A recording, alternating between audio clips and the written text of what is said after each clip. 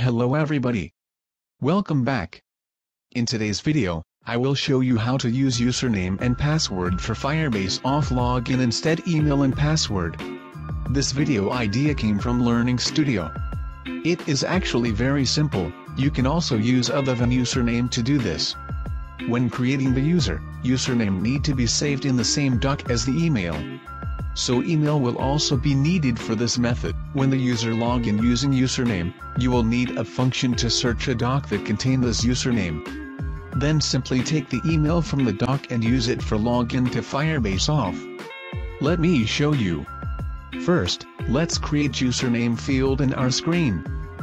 Oh yeah, for you who are new to my channel or even new to Flutter. This app is from my other video, you should check it out so you will not get confused throughout this video.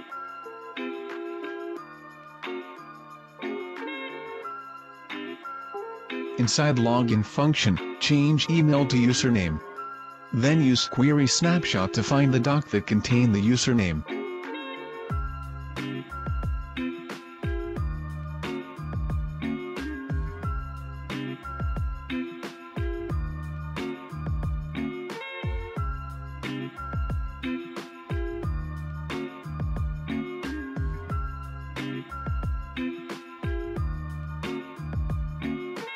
Use this to take the email.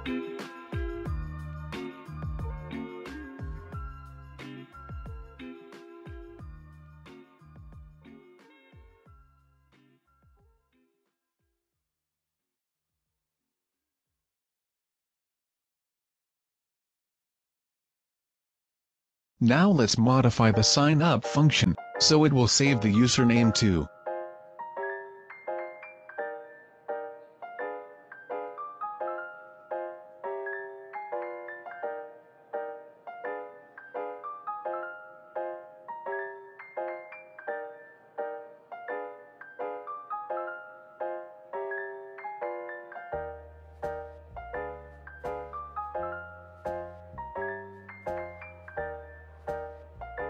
Let's test it out.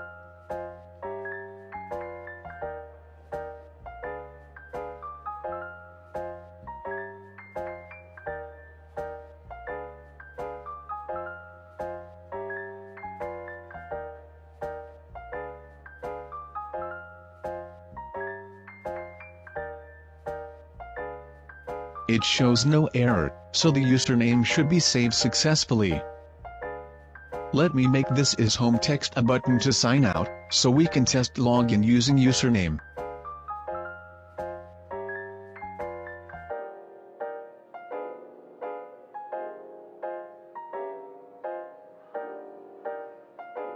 Now we can test login using username and password.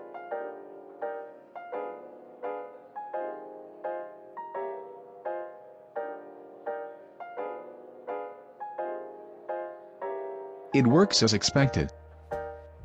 Now your user can log into your app using username and password.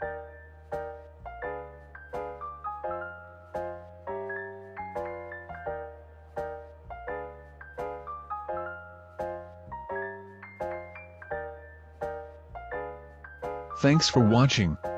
I hope you learned something new from my video.